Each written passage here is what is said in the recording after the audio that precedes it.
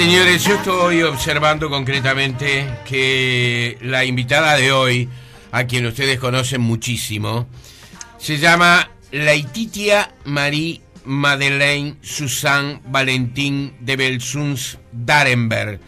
Un nombre largo para los uruguayos, pero que se estila mucho en Europa. Que nació en Brumana. Me encantaría preguntarles a ustedes dónde está Brumana para saber si realmente saben dónde está. A mí me costaría un esfuerzo. Mandato francés de Siria, ¿eh? un 2 de septiembre, y es conocida simplemente como Leticia, Leticia Darenberg aquí en nuestro país, una empresaria uruguaya de origen francés que ha pasado a ser una ciudadana más y que en esta semana hemos querido convocar en esta semana especial de mujeres destacadas aquí en tiempo eh, presente. ¿Cómo estás, Leticia? Muy, muy bien. Estás bien acompañada porque está con una perrita que está eh, fascinada por estar en la radio. Tiene ganas de hablar, tiene ganas de ladrar. ¿Cómo se llama la perrita? Ella se llama Frida, tiene, va a cumplir dos años. Sí. Es una divina, una divina. Una, Sí. Es una pequeña chihuahua de pelo largo, es de color muy clarito, color miel y blanco. Y es una perrita, fa- es una gran compañera mía. Sí, Hacemos muchas cosas juntas, me imagino. muchas. ¿Sabes, eh, Leticia, que eh, Compartimos la vida. compartís la vida? Bueno, escuchen esto, ¿eh? Porque en los últimos días, a propósito de dos hechos que se dieron en el Uruguay, uno de ellos una persona no vidente que no la dejaron subir al ómnibus con eh, un perro. lazarillo. Ah, no puedo. Y después un llamado telefónico de una señora que eh, había quedado sola, vivía en un edificio de apartamentos, murió su esposo, quedó sola, quiso llevar una mascota porque eh, se niega a dejar ese que reconoce su hogar, en el cual estuvo muchos años. Esto pasa mucho con las parejas cuando alguien se va y queda... Vital, exactamente. es vital, es vital. Eh, quiere quedarse con sus propias Claro. cosas, sus propios recuerdos, su propio lugar Claro. Pero quería estar acompañada y quería estar acompañada por una mascota. Y resulta que eh, los propietarios del edificio, eh, la comisión no se lo permite. Y yo les contaba eh, algo que muchos uruguayos saben, pero que otros uruguayos no podían saber, las mascotas, la importancia que tienen en cualquier otro lugar, en, en Alemania, en, en Austria, en Estados Francia. Unidos, en Francia. Pero escúchame, en todos los hospitales Sí. hay chicos donde hay niños, hay animales que van a los hospitales. Porque es importantísimo tu mascota. Tu mascota es parte de ti mismo. Sí. Entonces, para la gente de la tercera edad, o gente grande, como... O no videntes. O no vi- Pero... La gente, o la gente que vive sola. Pero la hay gente que vive sola, pero que tienen para compartir una vida, que es su mascota, porque han perdido su marido, porque han perdido su familia, porque han quedado solos, y sin tener esa mascota o una mascota, no siguen bien y se mueren. Eh, por supuesto De que. Por supuesto que el propietario de la mascota tiene sus obligaciones, ¿verdad? Claro, tiene Eh, que no ladrar, tiene que ser un animal limpio. Exactamente. Que- si tenés obligaciones que es como tener un nene chico, no Para- hacer ruido, no, no, que no sean ruidosos. que no, no estén rascando todas las puertas, Sí, este, que sean bien educados como todo, pero. Entran en los supermercados, en, los, En todas partes del mundo. eh, en las mascotas. Pero en todas partes del mundo. En- entran en, en- en- no sé, en este, hay Pero eh, los restaurantes. restaurantes. Pero escúchame, los restaurantes te ponen al lado. Nosotros nos hacemos. Acércate al micrófono, Leticia. Eh, en Europa te dicen, en, los restaurantes te ponen, no nos hacemos responsables de mordedura de perro. ¿Por qué? Abajo de la mesa siempre hay perros policías y perro grande. Y la gente que tiene un perro chico muchas veces se olvida que el perro va abajo de la mesa. Y muchas veces hubieron accidentes. Para que esto se evite, para que se evite este tema, para que se, para que se evite ese tema, te lo ponen para que tengas el perro o en un bolso o sobre tu rodilla para que lo tengas acostumbrado a no andar por debajo de la mesa, o si no se lo puede comer otro perro. Exactamente, además tienen bozales. y- El perro, eh, este, la mascota en general, este, es un ser vivo cargado de sentimientos y, y de cosas muy, noble, importantes. Es muy noble. Y mira que los gatos ayudan muchísimo a gente por cuestiones de salud. Hay eh, los perros para mí es eh, como pa- todo lo que yo he vivido en los hospitales, yo he ido mucho a trabajar con gente de tercera edad. Sí. Todos en Europa tienen su mascota. Sí. O es un lorito, o es un gato, o es un perro, o es... Pero A los niños. A los niños y la tercera edad son vitales para ellos. Pero vitales, porque están muy solos. Es gente que está muy sola, un niño que está enfermo. Es un chico que se siente solo porque no tiene el placer de poder correr, saltar, ir al aire libre. No puede, está todo el tiempo encerrado en una clínica. Entonces tenés los clowns, ¿viste? Los, los, los, Lo- los payasos, los payasos que van ahí. Sí. Y tenés los padres que llevan y traen sus mascotas. Sí, Y ellos sí. así, cuando salen, les dejan las mascotas. Eh, estamos muy retrasados en esto. A mí No, me en pareció. Uruguay es horrible, el- sí. el- la llamada de, de- de la segunda. se- eh, bueno, la- la- la- la- el hecho que le pasó a Pero la no vidente. M- déjame Pero la contar. llamada de esta señora que quedó sola y que quiere simplemente tener una mascota para mantenerse en su propia casa me parece de una crueldad. Pero de ¿sabe un cuál? ejercicio de poder No, indebido. Indebido. Pero es una falsa, es una frialdad de cruel y de persona que no tiene ni idea lo que es el compartir. Sí. No saben lo que es el calor de poder compartir algo con alguien o algo. Sí. Porque no es que te conteste, es el, el hecho de tener algo que te entienda y que tú te sientas seguro para poder transmitírselo. O no importa que es un gato, que es un loro, que es un, ratón, no, no es ese el tema. Es el tema que tú tenés que dejar a esa gente que está muy sola, que ya tiene ha hecho todo un gran camino en su vida, que pueda recostarse sobre algo que ella cree o él cree. Entonces, para su psicología, para su bienestar, para su paz, para su tranquilidad y para su propio yo, hay que dejarlos estar con eso. Y cuando los ciegos, en el mundo entero, en el parlamento se llevan los perros de ciegos, son los lazarillos, es, es una herramienta, como si tú, de un día para otro, usted me dicen, toda persona que tiene lentes no puede entrar en un, en un ómnibus. Entonces, ¿qué? ¿Nos vamos a ir todos de a pie? Cierto. Pero es ridículo. Hay que olvidarse la cosa que la gente no sabe educar, ni los hijos. La gente no sabe educar sus hijos y la gente no sabe educar sus animales, mucho menos sus animales. Sí. Entonces, en este país tenés animales que hacen pis por todos lados, que levantan la pata por todos lados, que pueden llegar a morder, que, que, que, que están sucios, mal mantenidos. Y por el otro lado tenés gente que los tiene divinamente bien, pero no es la mayoría. Entonces la gente queda con la idea que si toca un perro, la prueba que yo mi perro no lo llevo a la calle. Porque si la pongo en la calle tengo miedo que me agarre sarna, tengo miedo que me agarre Claro. pulgas. Entonces ella está en un bolso. La, yo, por ejemplo, mis zapatos son más sucios que mi perra. Mis zapatos son más sucios que mi perra. Porque mi perra no camina por la calle. Y si camina por la calle, la lavo con alcohol cuando llego en casa. Eh, Henri Henri, y, mi padre. y Marie-Thérèse. Henri era mi padre biológico que perdí a la edad de los tres años Sí. en la batalla de, de Montecassino en Italia, Él era militar, militar. de la última guerra mundial, y él estaba enrolado en la au 5e régiment marocain, de- que eran los alpinos. Él Sí. era un alpino. Y, um, y era increíble porque mi madre se casó cuando yo tenía siete años, pero mi tío, eh, mi padre, el que me crió, siempre venía a ver a mi madre porque la conocía de toda la vida y siempre fue el amor de su vida, pero ella sí está enamorada del otro, así que es una cosa de locos. Sí. No, que son esas cosas que suceden. Sí. Bueno, y, um, y no lo conocí, mi padre estuvo un día con él. Uh, Brumaná es un sitio en aquel entonces que era sobre el camino a Siria y mi madre voló sobre una una una una, una granada con la porque ella está- se había enrolado en el- la Cruz Roja francesa y fue a Líbano para estar con su marido. Y si tú estás casado, no puedes ir con tu mujer, o tu marido no puede ir con su mujer, o la mujer no puede ir con el marido si hay una guerra, porque se pueden morir los dos. Entonces tienen que estar separados. Entonces ella mintió, se enroló bajo el nombre Sansen, que es el nombre de la abuela, y se enroló y se fue a Líbano para estar atrás de su marido. ¿Cuánto de novela hay en tu vida? eh, Mi vida Leticia? es toda una novela y yo la hice del todo novela, porque termina acá en Uruguay. Ajá, pero yo soy una novela. Eh, no, soy, no soy de Berrabia, te juro, porque a veces me digo, pero Ay, Leticia, ¿de dónde venís? Saliste de un pozo para caer en otro pozo, para volver a caminar, para volver a caer en otro pozo cuando termine mi vida.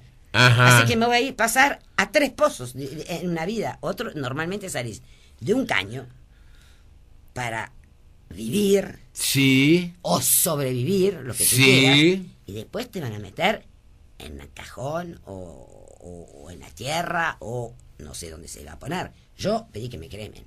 Ah, sí. Yo quiero que me cremen y quiero que me tiren al aire. No quiero estar encerrada en ninguna caja de nada. Ajá. No quiero estar encerrada en ninguna caja.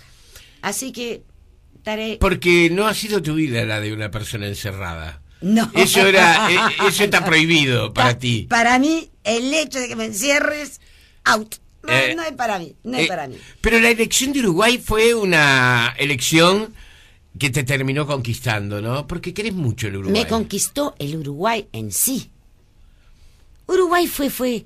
Pero tú sabes lo que para una mujer como yo, con la vida que yo tenía, de un día para otro encontrarme con esos espacios, con esas tierras, con la playa, con, con, con, con toda esa poca gente que había, poder andar en el auto sin tener que estar haciendo colas interminables.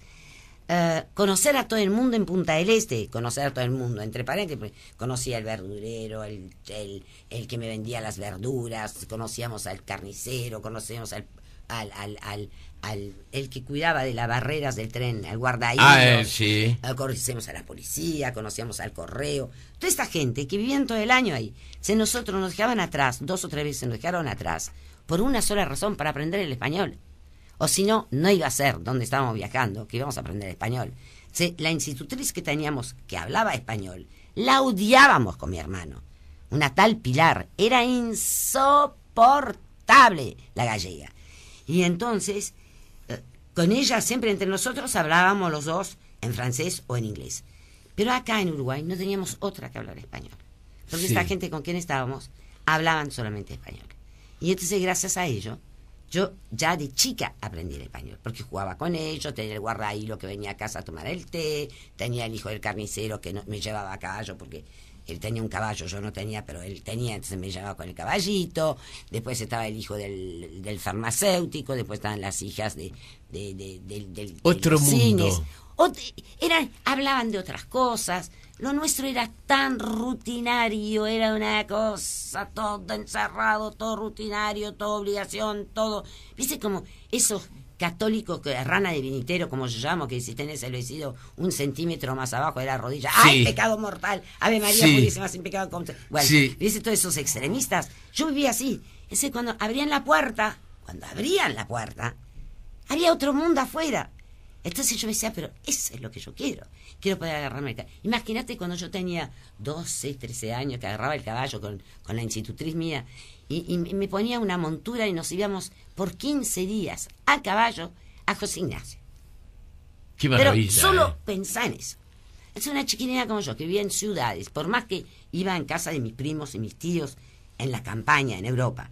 Pero no era mi casa. Mi casa, mi referencia de casa, era Punta del Este, la villa de mis padres. Entonces, que sea grande, que sea pequeña, que sea... Para un niño no es el tamaño que hace la cosa, es el, el medio donde estás. ¿Tenés familiares tuyos que hoy pertenezcan a la nobleza europea? Muchos, Muchos. muchísimos. ¿En, de- Tan- en qué países? Tengo en Alemania, tengo en Francia, tengo en Inglaterra, tengo en España, tengo en Italia, tengo en Austria, tengo ¿Por bueno, en toda Europa, en Estados Unidos, tengo en Brasil, tengo por todos lados. Porque vos, eh, porque tú sos una princesa en serio. Al principio, Bueno, ya- pero ¿qué es estar en serio? a eso te, te- te iba a decir. Cuando eh, en un país como o en un continente como el nuestro que carece de realeza, ¿Tuvieron? a- claro que hubo, claro que sí, sí, claro. Por, por las revoluciones. Ahí está. Eh, que llegue alguien y diga soy princesa, es toda una Yo cosa nunca muy dije que era princesa. Yo me llamo Leticia, pero que... es- es- eh, para nosotros te voy a decir una cosa. Mira, es, es, es como llamarte Pepita. Porque desde que naciste te hablan así. La palabra alteza, es como decir señora. Para mí, antes de haber oído la palabra señora, oí la palabra alteza. ¿Entendés? Entonces, Está todo incorporado en uno. Es la importancia que le damos, como siempre decía mis padres. Usted es un cero a la izquierda hasta que prueba que usted puede ser algo por sí misma. Escucha bien lo que te digo. Yo tenía, ya venía del tiempo de mis tíos, cuando yo debía tener 5 o 6 años. Ni te quiero decir cuando empecé a entender las cosas, porque moi, cuando yo decía, porque yo, ¿cómo dijo? No, porque nosotros, ah, bueno, ya esto es mejor. Porque el yo no existía. Nosotros no existimos. ¿Tú, ¿Tú sabes lo que es cuando tú eres chico y que te dicen, usted no se crea que en la vida la gente que se le acerca es por usted? Se vos quedabas pensando. Primero no entendías. Se dice, ¿y por qué? ¿Y por qué? Porque usted no es nada. Usted es igual que todo el mundo. La única diferencia que tuvo la suerte de haber nacido donde nació. Ahora, mañana, así como nació ahí, usted mañana está en el sitio de esta gente. Porque usted lo perdió todo. A causa de una guerra, a causa de una revolución, y te hacían estudiar las guerras, las revoluciones, los cambios de gobierno, lo que han pasado con toda nuestra historia.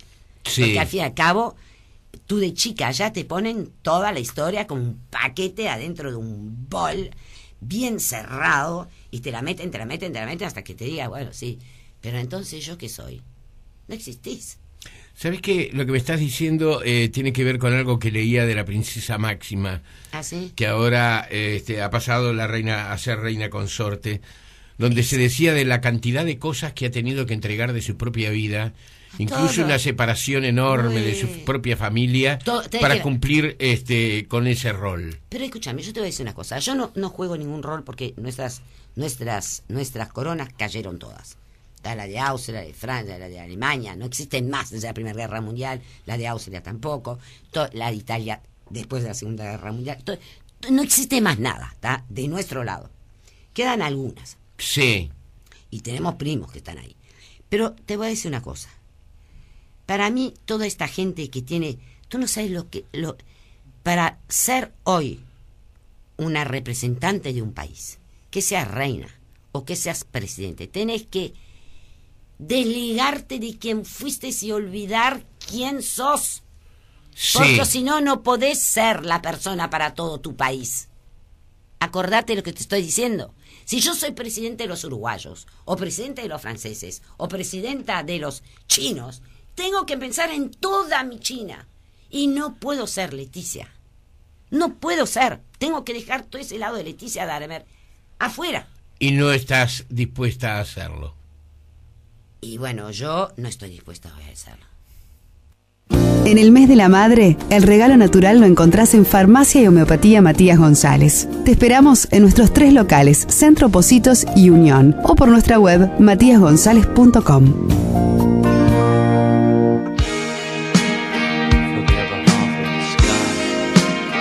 Yo quiero ser yo, dijo Leticia recién, ¿verdad? Y, quién es ese yo? ¿Lo podés describir? En lo poco que... Es muy difícil conocerse a sí mismo, pero yo pienso que soy una persona muy libre. Soy una persona que trato siempre de ponerme los calzones, los calzones, los zapatos y la ropa del que está enfrente mío. Dicen, si yo estuviese en su sitio, ¿cómo vería las cosas? Entonces me cuesta mucho, ¿viste? Juzgar o tomar, uh, ¿viste? estar en contra o juzgar de, enseguida algo o alguien por el hecho que ha hecho. Porque si yo estuviese en su sitio, ¿qué hubiese hecho? Mm. Entonces, Es muy difícil, muy, muy difícil. Yo pienso que soy una persona que primero creo y quiero al ser humano. Yo no puedo vivir sola. Yo soy convencida que el ser humano somos una gran, gran... Somos como las cotorras. Necesitamos ser todo un grupo de personas, todas muy diferentes, todas, muchas de ellas hablamos, otros no pueden hablar, pero se pueden hacer, pueden ser tan, tan, tan expresivos a través de un gesto, una mirada y un abrazo que, que, hablar, porque a veces las palabras hieren sin querer, porque si tú te dejas llevar, decís cualquier cosa y después te quieres retractar, pero a veces no tenés ni siquiera el tiempo para retractarte, entonces seguís metiéndote cada vez más adentro. Y si te das cuenta que lo hiciste, entonces ahí podés pedir perdón. Pero normalmente cuando estás embalado, no lo paras ahí. ¿Te gusta ayudar, pero la gente te pide más de lo que debería? No. No. No. Porque yo te voy a decir una cosa, lo peor es no pedir. No hay que tener miedo de pedir. No, nunca hay que tener miedo de pedir, hacer una pregunta, eh, tratar de descubrir qué es lo que quiere, cómo podría yo llegar, porque no es dado a nadie. Nosotros no nacemos con el, el conocer. El conocer se va haciendo en el camino. El saber se va haciendo en el camino. El, el, el, seguir adelante es haciendo equivocaciones, dándonos cuenta cómo nos hemos equivocado y cómo a través de lo que nosotros hemos aprendido y recordando las equivocaciones, podemos cambiar para ir mejorándonos. ¿Entiendes? Es muy importante. Yo, yo pienso que todos nos tienen que equivocar, todos nos equivocamos, pero ¿sabes lo que hay que tener la humildad de decir? Mira, me equivoqué, pero qué cagada que me mandé, qué horrible, qué horror, qué, macana. Pero, ¿y ahora cómo la arreglo? ¿Sabes qué? Agarrar tus cacharpas, andar a la persona, tocarle el timbre y decir, mira, ¿sabes qué? Me mandé esta, me, me mandé una que... Te pido perdón, porque no lo quise hacer así. Pero tienes que entenderme que lo veo así. Entonces quiero que me ayudes a reflexionar para que esto no pueda yo cambiar mi idea y entender el por qué me equivoqué. ¿Qué cosa te queda pendiente? Te deben quedar muchas cosas pendientes. De hacer mucho más. De ver, yo hubiera tenido, yo pienso que en mi vida hubiera tenido que empezar a trabajar no a los 39 años. Yo hasta los 39 años llevé lo que se llama en español, así vulgar, una vida al Se te entendió perfecto. Ah, ¿Se entendió? Sí, sí, sí. Quiere decir, viajaba de arriba para abajo, iba de arriba para abajo, era una bola sin manija, parecía una mariposita alrededor. Además estaba con el alcohol porque no, no estaba feliz. Cuando la gente juzga los alcohólicos, cuando la gente juzga los drogadictos, cuando la gente juzga lo que hacen nosotros. Ustedes no se olviden que hay que saber el por qué llega uno a eso normalmente son gente, yo de todo lo que he conocido son gente muy sensible, es gente que ha sufrido mucho y que no han tenido la fuerza, como yo, no tenía la fuerza de afrontar el mundo. Entonces me dejé llevar en esa, en este mundo artificial, falso, em, todo brillante, divertido. Y yo creía que me divertía como loca. En realidad vivía en pedo todo el año.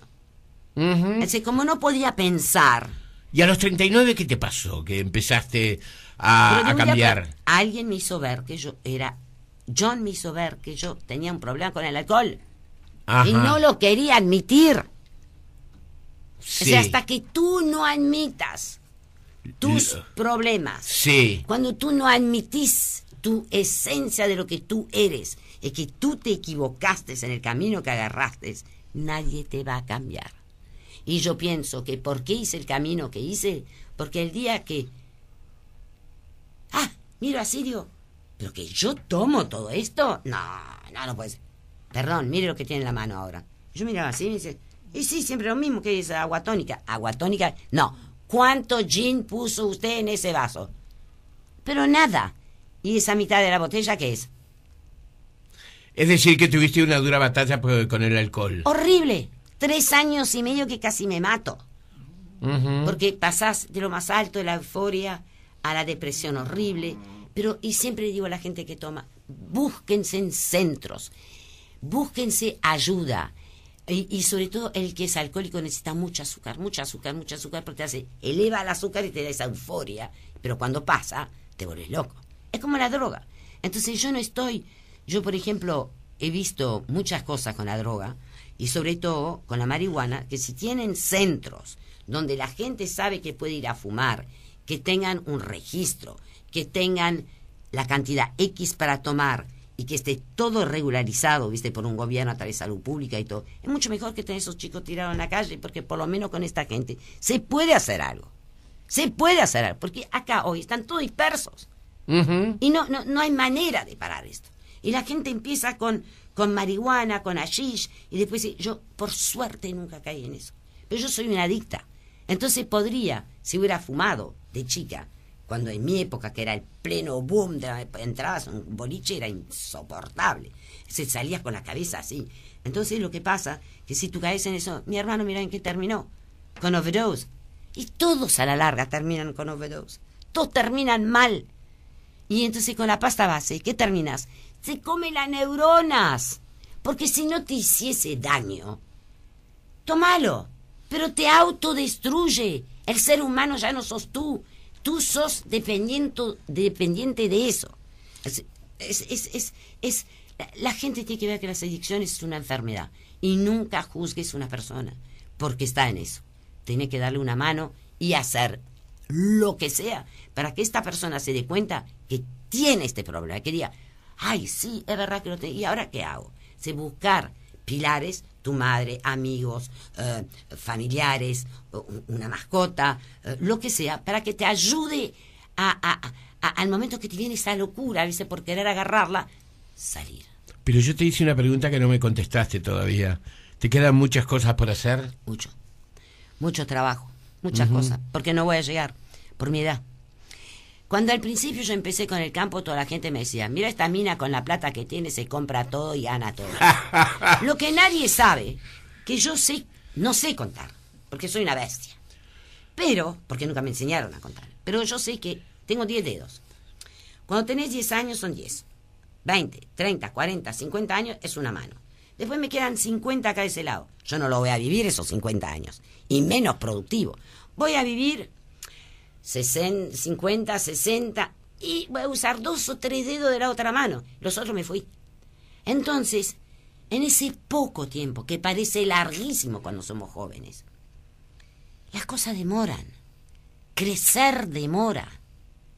Y cuando tenés una meta en la cabeza, el tiempo se hace tan corto que no ves cómo vas a llegar. Entonces yo me dije, lo único que voy a hacer para poder llegar a dejar algo que realmente valga la pena para el país, que es genética. Pues sin genética no vas a ningún lado, porque no puedes mejorar las cosas y las cosas más o menos no sirven.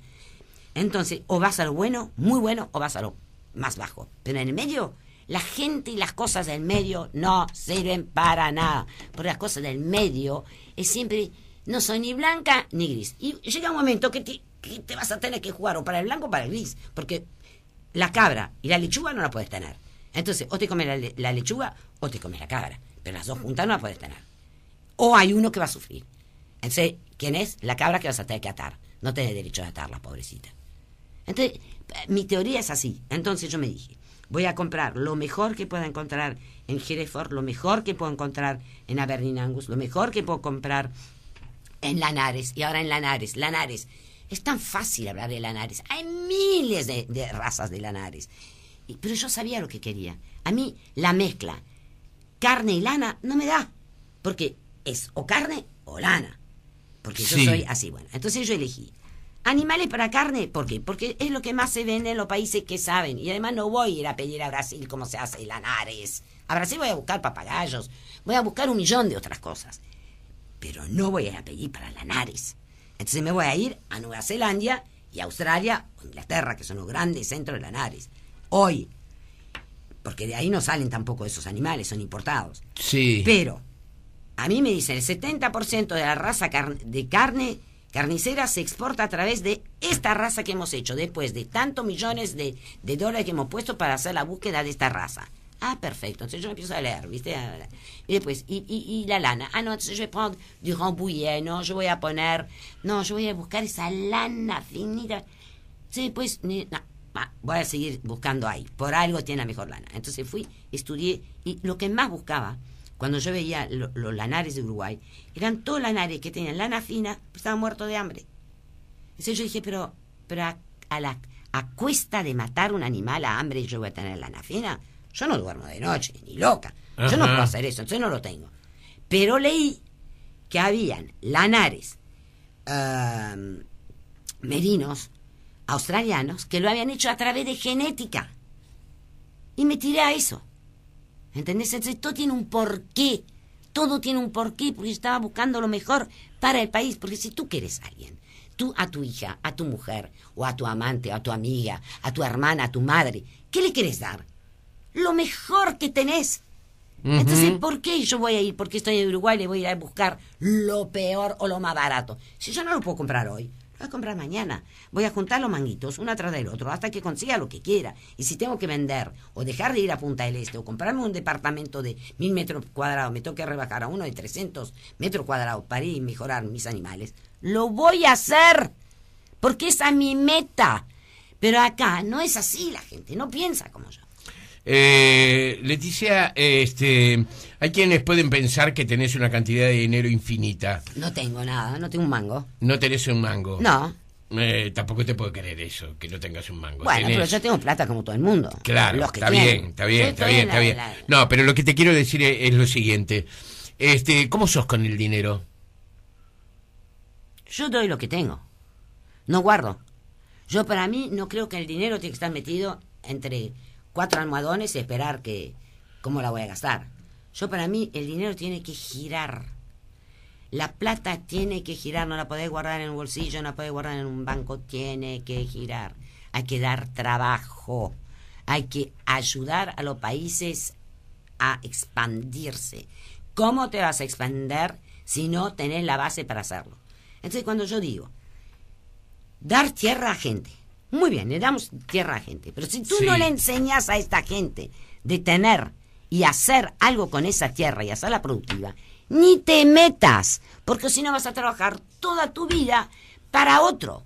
Entonces, más vale no tener nada y ponerlo en otra cosa que te sea productiva hacia ti para dar trabajo a otra gente. Te sentís querida, ¿no?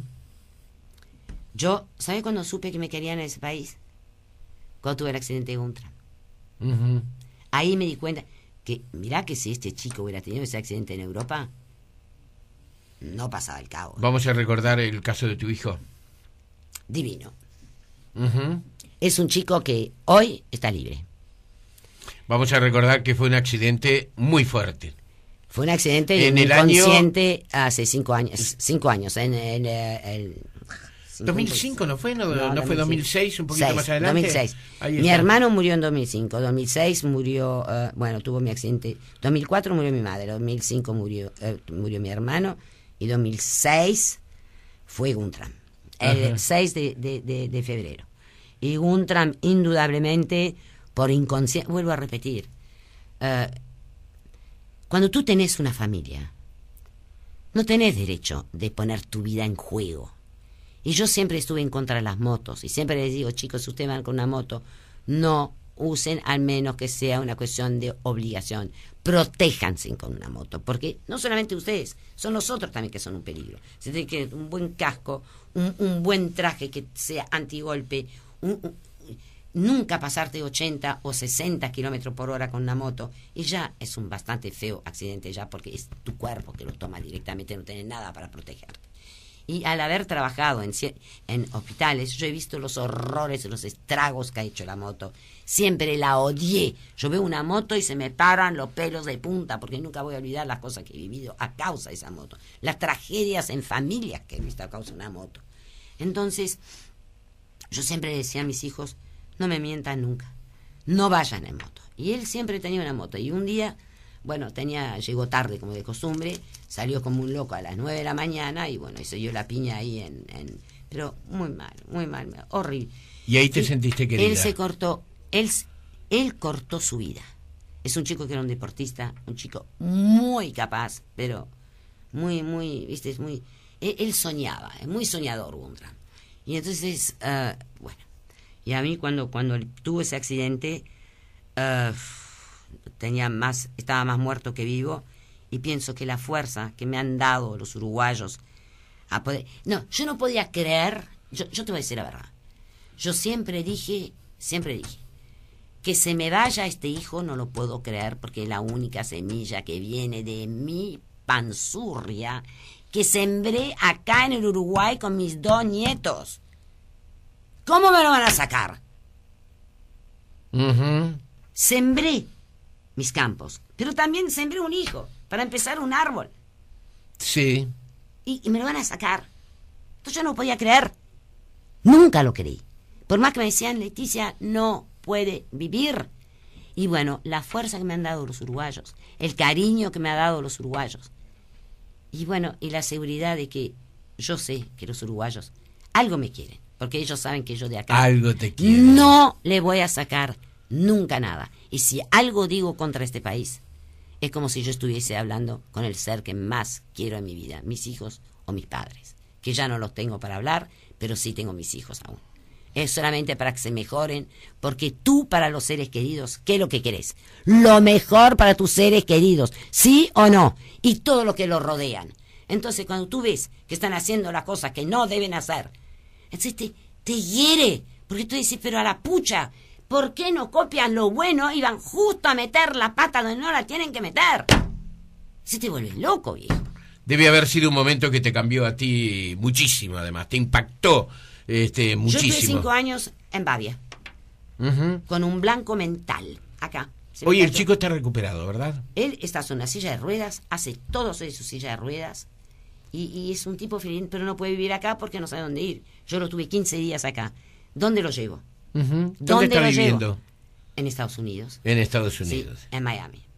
Y ahora, bueno, ya se acostumbra a estar ahí, tiene, va todos los días a fisioterapia, y bueno, y, tiene sus hijos que van al colegio. Él no necesita de nadie para que lo cuide. Él se levanta, se acuesta, él maneja, él sale, él entra, va al cine, va al teatro, acompaña a sus hijos por todos lados, él los lleva al colegio, lo trae del colegio, va, sale con ellos, va a jugar al fútbol. Vive, qué fantástico, ¿eh? Vive, vive. Imagínate que de la cintura para abajo no tiene más nada. Sí. Y es un chico que tú lo ves sentado y te puedo asegurar que no te das cuenta que tuvo un accidente. Leticia, gracias por tu eh, sinceridad, gracias por acompañarnos. Te quiero decir que te voy a entregar un obsequio que el laboratorio Matías González ha enviado para ti y para todos los invitados esta semana, una línea de cosmética natural MG. Mm. Eh, y te agradezco mucho. Y a ti, te extrañamos mucho. ¿Eh? Pero si tú estás mejor, eso es lo importante. Ah, te agradezco muchísimo. Cuando la gente me dice, cuando la gente te dice, ay, ¿por qué no haces eso? Pero lo importante es que estés bien tú. Porque si tú estás bien, entonces todos los que están alrededor tuyo van a estar bien. Gracias, Leticia. Hasta muy pronto. Hasta ¿eh? muy pronto. Seguimos adelante.